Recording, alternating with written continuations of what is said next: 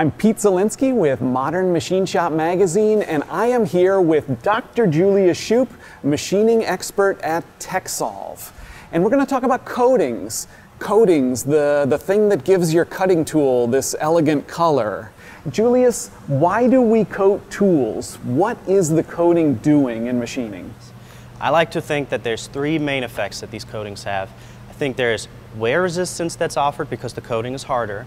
There's a thermal barrier, and then there's lubricity, which can help act kind of like a lubricant if you're cutting dry. Okay, so these terms I mentioned, PVD, CVD, what do they mean?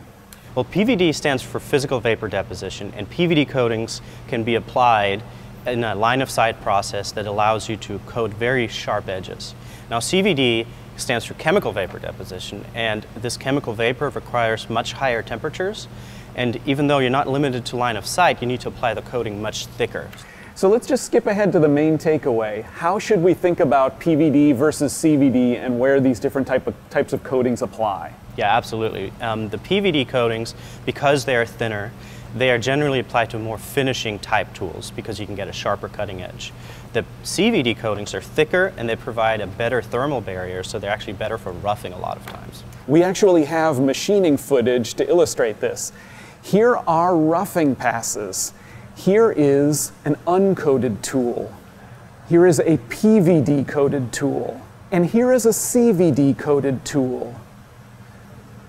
Julius, in these roughing passes, what have we seen? Well, I think what we saw right away was that the uncoated tool did significantly worse than either of the PVD or CVD tools.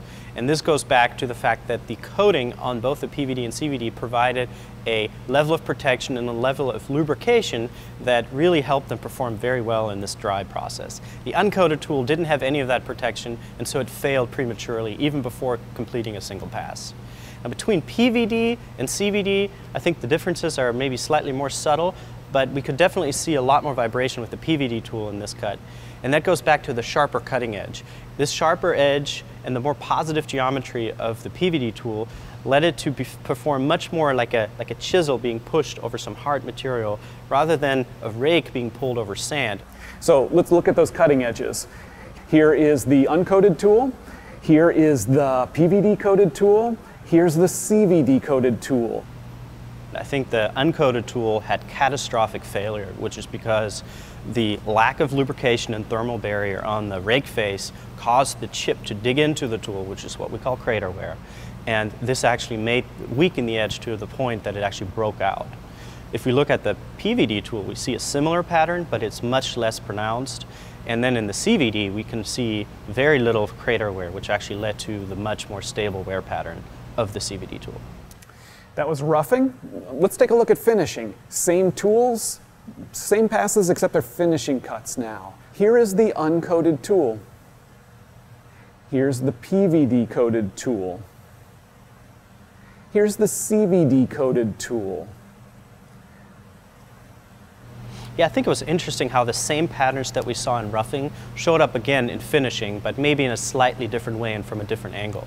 So the uncoated tool, it started out pretty well, but it just couldn't last through even a single cut, which tells me that for dry machining, we really want to have a coating.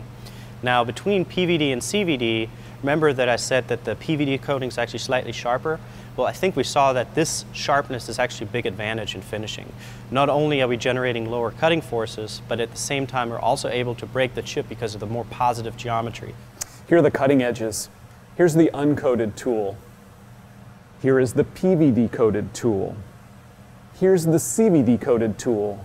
I would say that the uncoated tool clearly has much, much more wear than the other two tools had. And this is because the absence of a coating, the lack of lubrication in dry machining caused the workpiece material to erode the tool much more rapidly as a combination of increased heat and less um, lubrication. The sharper PVD tool definitely did much better in the actual process because it was able to break the chip. So I think the edge in this case, no pun intended, goes to the PVD tool.